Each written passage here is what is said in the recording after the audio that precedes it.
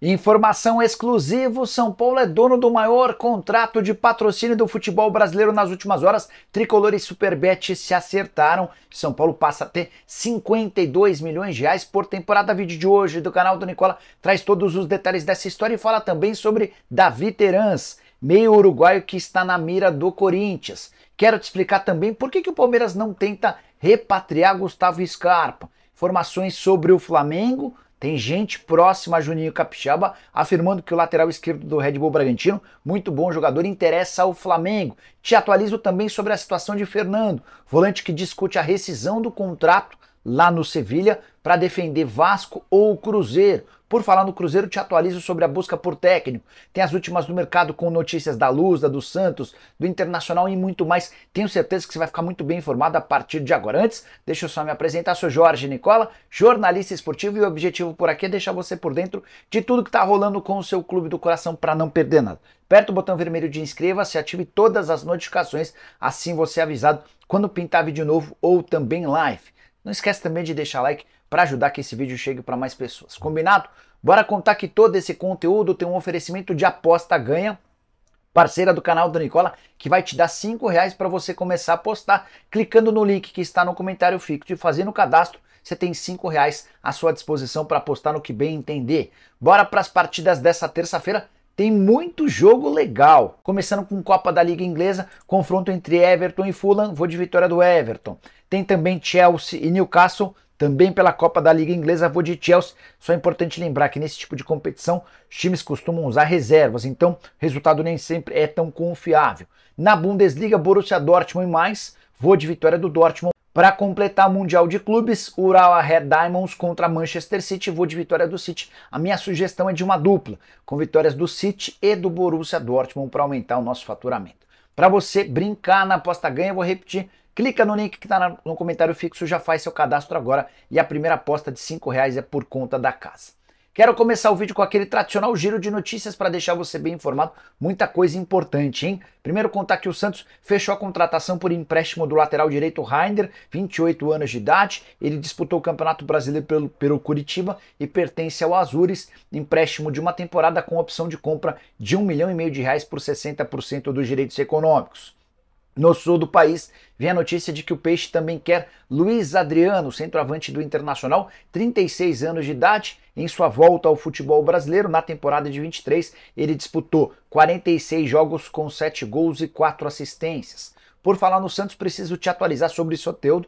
Ele participou de um jogo festivo de beisebol lá na Venezuela e garantiu para uma repórter que participava da transmissão que está fechado com o Grêmio. O Peixe deve ter na, na na troca pela liberação do Soteudo, pelo menos dois jogadores. Esses nomes estão sendo debatidos. Um deles, Pedro Lima, meio atacante que estava emprestado ao Ceará e que interessa ao Santos já há algum tempo. Só para completar, Pedro Lucas, tá? Não é Pedro Lima. O outro jogador ainda está sendo debatido. Ah, mudando de assunto, queria falar sobre a Comembol. Nessa noite, vai haver o sorteio para definição das três primeiras fases da Libertadores do ano que vem, aquelas fases anteriores à fase de grupos, e Botafogo e Red Bull Bragantino são os principais interessados. Eles entram na segunda das três etapas que precisam ser cumpridas antes da fase de grupos. O sorteio da fase de grupos acontece apenas em março.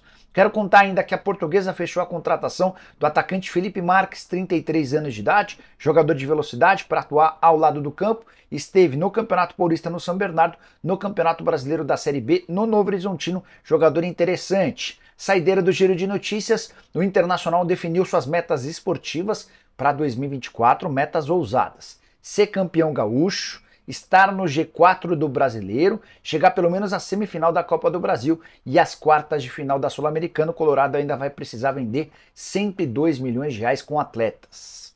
Bora falar agora sobre o volante Fernando. Você lembra dele, né? Jogador que já esteve na seleção brasileira, passou por Porto, Manchester City, Galatasaray e joga no Sevilha desde 2019. Pois bem, de acordo com o diretor do Sevilha, o Vitor Horta, o Fernando solicitou a rescisão de contrato de forma amigável. Ele tem vínculo com o Sevilha até junho do ano que vem. As tratativas estão sendo, sendo feitas e a tendência é que esse rompimento aconteça a qualquer momento. Dessa maneira, Fernando fica livre para voltar para o futebol brasileiro. Jogador de 36 anos de idade, esteve em 13 das 26 partidas do Sevilha na atual temporada. O Vasco é o principal candidato a contratá-lo, mas o Cruzeiro também entrou na parada. O Ronaldo Fenômeno chegou a falar com o Fernando, solicitando, pedindo que ele seja repatriado e jogue pela Raposa em 2024.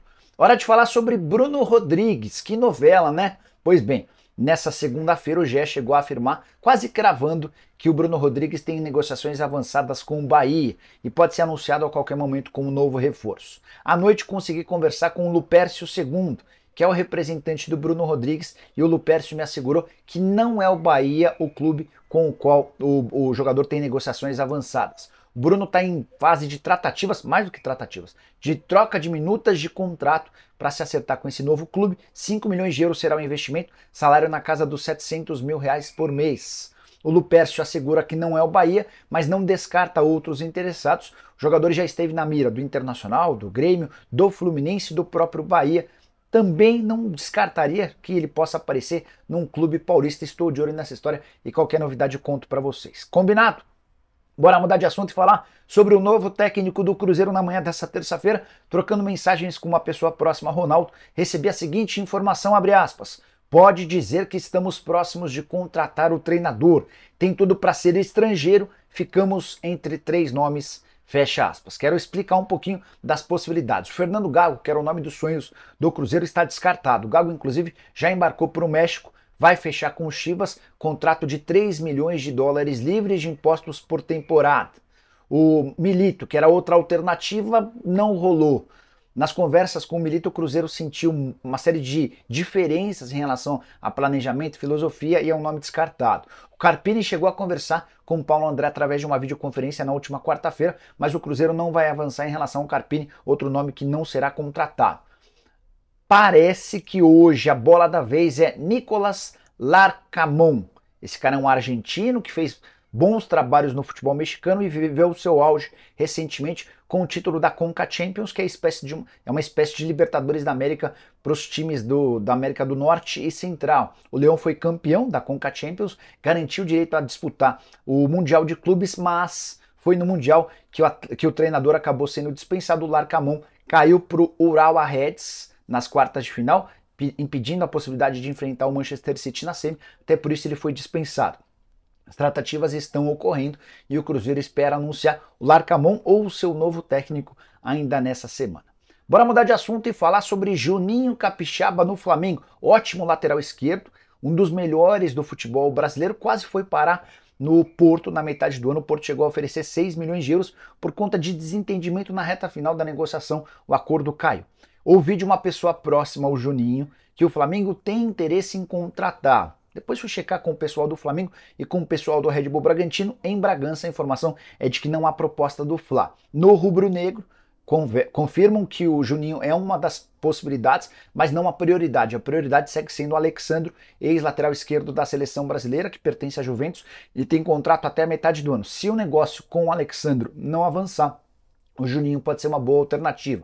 Atleta que tem características parecidas à do Felipe Luiz, aquele lateral esquerdo construtor que, que participa muito bem do jogo na parte central, central do campo, funcionando muitas vezes como meia, tem muita qualidade, seria um reforço interessante. Mas Nesse momento, a prioridade do Flamengo é se acertar com outro jogador do Red Bull Bragantino, Léo Ortiz. O negócio vai gerar na casa dos 6 milhões e meio de euros. O Ortiz faz força para se mudar para o Rio de Janeiro. O Red Bull Bragantino tenta barganhar para conseguir um pouquinho mais de grana. A negociação deve ser fechada muito em breve. Quero falar agora sobre o São Paulo, notícia exclusiva. O tricolor já se acertou com a Superbet, que será sua nova patrocinadora master. O prazo para que a Sportsbet, que é a atual patrocinadora, respondesse se cobre ou não a oferta do Superbet acabou na última sexta-feira e a Sportsbet disse que não tem capacidade financeira de pagar os 52 milhões de reais por temporada sugeridos, oferecidos pela Superbet. Dessa maneira, a partir de 2024, São Paulo troca de patrocínio master, deixa de ter a Sportsbet.io, que bancava 24 milhões de reais por ano, e passa a ter a Superbet com 52 milhões de reais anuais Tricolor mais do que dobra seus recebimentos em relação ao patrocínio Master. É de longe, nesse momento, o maior patrocínio Master do futebol brasileiro. Corinthians e Flamengo discutem também a troca dos seus patrocinadores Masters e podem ultrapassar o São Paulo num futuro momento. Mas hoje, dia 19 de dezembro, o São Paulo é dono do maior patrocínio master do futebol brasileiro. Com esses 52 milhões de reais apenas pelo peito, São Paulo também se aproxima da terceira camisa mais valiosa do futebol brasileiro.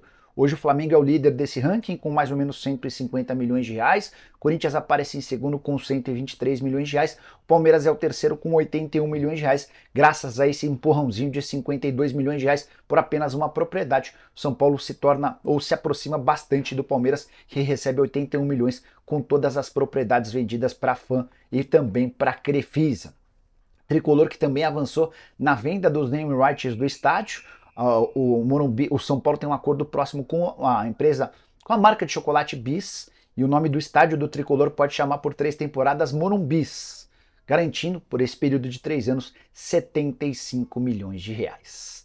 Bora falar agora sobre o Corinthians. Um amigo meu, torcedor do Corinthians, me chamou para falar sobre o Terans. Nicola, lembra do Terans, jogador que estava no Atlético Paranaense? Foi para o México não conseguiu decolar por lá. Será que ele não caberia no Corinthians? Repassei essa pergunta para uma fonte minha importante do departamento de futebol alvinegro. E a pessoa respondeu da seguinte maneira essa consulta, abre aspas, estamos monitorando sim o Terans. É muito bom jogador, fecha aspas. Só para lembrar vocês, o uruguaio de 29 anos de idade estava no Atlético Paranaense, viveu grandes momentos com a camisa do Furacão, embora não tivesse a possibilidade de se firmar como titular absoluto. Acabou vendido para o Pachuca do México por 3 milhões e 300 mil euros. Instabilidade no futebol mexicano. Teran chegou a nem, nem sair do banco de reservas em quatro oportunidades na atual temporada. Embora nos últimos jogos do Campeonato Mexicano tenha se firmado, ele foi titular na, nas cinco partidas finais do Pachuca na temporada. Hoje está avaliado em 4 milhões de euros pelo Transfer Market, mais ou menos quanto o Corinthians ofereceu para a contratação de Alan Patrick, jogador que pertence ao Internacional. Se as tratativas com Alan Patrick e com Maurício não avançarem, a tendência é que o Corinthians eh, se esforce para fechar com Terans, atleta que disputou 11 jogos, nenhum gol e nenhuma assistência no futebol mexicano. Conversei com o André Cury durante a live do programa do Nicola dessa segunda-feira. O André disse que ainda não tem uma resposta do presidente do Inter, o Alessandro Barcelos, em relação às propostas feitas pelo Timão por Allan Kardec e Maurício. 4 milhões de euros pelo Allan Kardec, 8 milhões de euros pelo Maurício, 70% dos direitos econômicos na negociação com o Maurício. Se de fato não rolar, aí o Corinthians parte para esse plano B e Teran seria, para mim, uma opção das mais interessantes. Só para arrematar, importante contar que o patrocínio master que o Corinthians tem hoje da Neoquímica garante 20 milhões de reais por ano. O Corinthians tem tratativas avançadas com casas de apostas, são três empresas na parada para conseguir um acréscimo bastante interessante desse patrocínio master. Quero fechar o vídeo para responder uma pergunta que vem sendo feita por vocês já há alguns dias. Por que, que o Palmeiras não está na parada por Gustavo Scarpa? E eu confesso que eu não tinha essa resposta durante a live. Encaminhei essa pergunta para uma pessoa que me respondeu pouco depois das 10 da noite. Achei extremamente interessante a justificativa e queria passar para vocês. Importante lembrar que o Palmeiras chegou a sondar o Scarpa na metade do ano, antes dele trocar o Nottingham Forest pelo Olympiacos Palmeiras sugeriu que ele voltasse por empréstimo. O Scarpa preferiu ir jogar na Grécia por empréstimo do que jogar no Palmeiras por empréstimo. E aí, aqui cabe a explicação que a pessoa do Palmeiras me passou. Abre aspas. O Palmeiras ficou chateado com a saída do Scarpa até porque ofereceu um salário maior do que o que ele tem lá no exterior, fecha aspas. Eu não tinha essa informação de que a proposta que o Palmeiras fez para não perder o Scarpa era de uma oferta salarial maior do que a que ele tem no Nottingham Forest. Isso para mim é, é super interessante. E aí vem um complemento da informação dessa pessoa do Palmeiras que eu acho que casa com a explicação total. Abre aspas. Não faria sentido para o Palmeiras comprar um jogador que era seu e saiu de graça do clube por opção dele. Fecha aspas. Então, só para resgatar.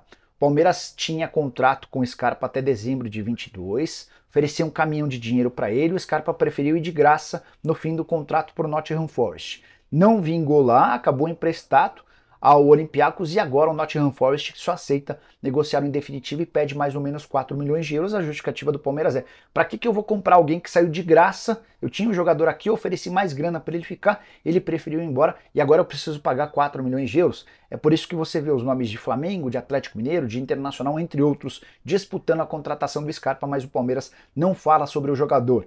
E essa fonte ainda acrescentou uma última que eu acho que também é relevante. A pessoa escreveu o seguinte.